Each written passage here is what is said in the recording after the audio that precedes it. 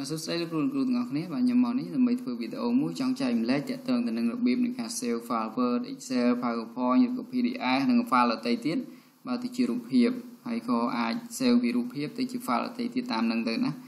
បាទអញ្ចឹងដោយសារខ្ញុំឃើញលោកគ្រូអ្នកគ្រូខ្លះអត់ចេះថត screen ទេសុខចិត្តយកកាមេរ៉ាអីមកថតអញ្ចឹងវាទៅជាខ្មៅវិញយើងយកផុសអញ្ចឹងវាអត់ស្អាតអញ្ចឹងណាបាទអញ្ចឹងដើម្បីដោះស្រាយបញ្ហាហ្នឹងសូមមើលវីដេអូនេះទាំងអស់គ្នា បាទខ្ញុំមានកម្មវិធីមួយចង់ចែកម្លែកតាក់ទងទៅនឹងកម្មវិធីឈ្មោះថា Dogu Freezer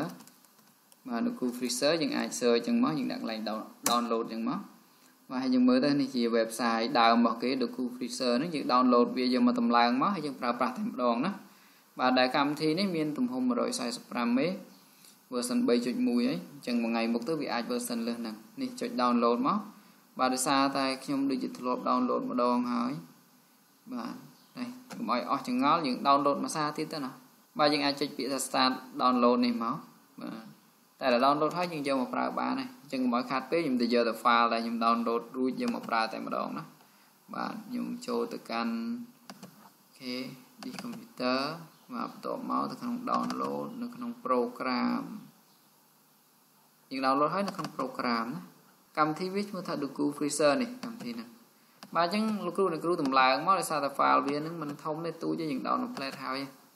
នេះរូបបែបនេះហើយវាតម្លើងស្រួលទេគ្រាន់តែយើងបើករបប click លើវាបាទហើយយើងធ្វើការតាមតាមការណែនាំមានចុច OK បាទចុចពាក្យថា yes ចុចពាក្យថា yes មួយទៀតបាទនេះរបៀបតម្លើងណាបាទហើយនេះជាកម្មវិធី free version របស់គេអញ្ចឹងយើងអាចប្រើ ប្រើបានគាត់ថារយៈពេលនៃការកំណត់ខ្ញុំចុច accept សិន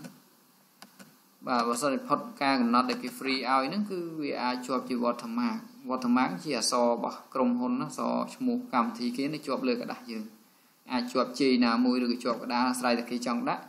បាទប៉ុន្តែបើយើងមិនចង់ឲ្យជាប់អញ្ចឹងគឺយើងទិញអាចទិញគេមកទិញ full version របស់គេមកទិញ license គេមកដាក់មកគឺវាលែងជាប់ហើយប៉ុន្តែ ទោះបីវាជាប់ជាអក្សរក៏យើងនៅតែអាចប្រើប្រាស់បានដែរវាមិនជាបញ្ហាទេបាទនេះគឺជា file ដែលខ្ញុំតម្លើងហើយខ្ញុំអាចបើកលើវាបានបាទពេលដែលខ្ញុំបើកលើវាយើងអាចប្រើប្រាស់កម្មវិធីនឹងបាននេះនេះកម្មវិធីរបស់គេដែលខ្ញុំបើក2ដងវាចេញ2ហើយខ្ញុំអាចបំលែង file ណាមួយដែលខ្ញុំចង់បំលែងឧទាហរណ៍ខ្ញុំចូលទៅក្នុងនេះ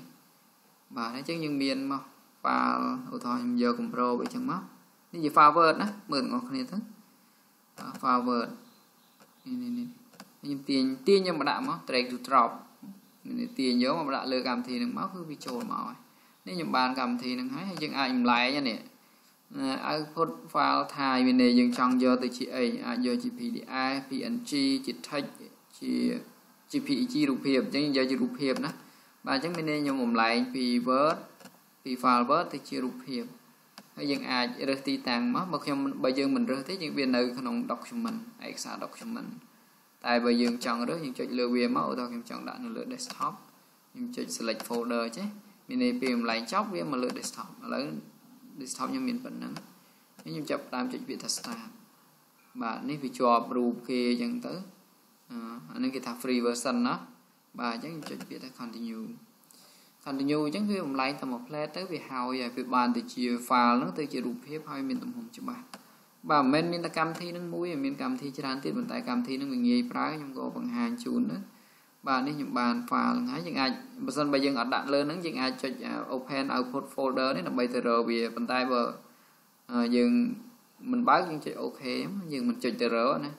ហើយបាទនេះយើង remove ចេញមានន័យថានៅពេលចុច OK វា remove ចេញបាត់ហើយ ឆ្លាស់អញ្ចឹងខ្ញុំបិទ file មកវិញមកនេះជារូបភាពដែលខ្ញុំបំលែងបាន បាទអញ្ចឹងវាអាចនឹងជាប់នេះ watermark របស់គេនេះ created by free version អញ្ចឹងទៅបាទតែបើយើងគិតថាវាមិនជាបញ្ហាទៅលើឯកសារយើងទេយើងយកមកប្រើមកនេះមានអីហើយច្បាស់លោកអ្នកអាចបរិយមើលមកបើយើងបរិយនេះយើងឃើញច្បាស់ហើយបើបរិយធំខ្លាំងអាចព្រាលប៉ុន្តែខ្ញុំគិតថាប៉ុណ្្នឹងច្បាស់ច្បាស់ហ្នឹងអូខេ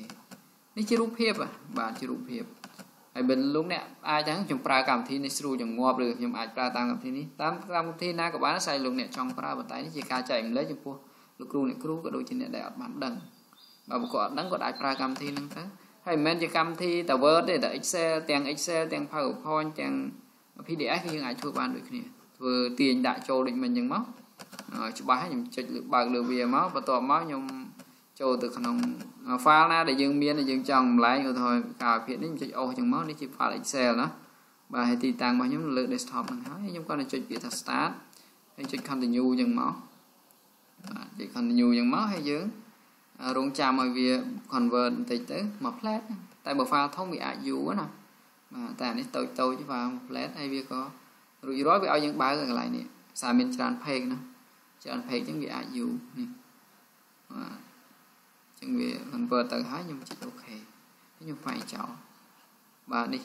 ច្រើន page អូខេភាសាខ្ញុំរៀបចំបានស្អាតប៉ុន្តែយើងមើលទៅប៉ុណ្នេះយើងអាចគិតថាយកបាននេះ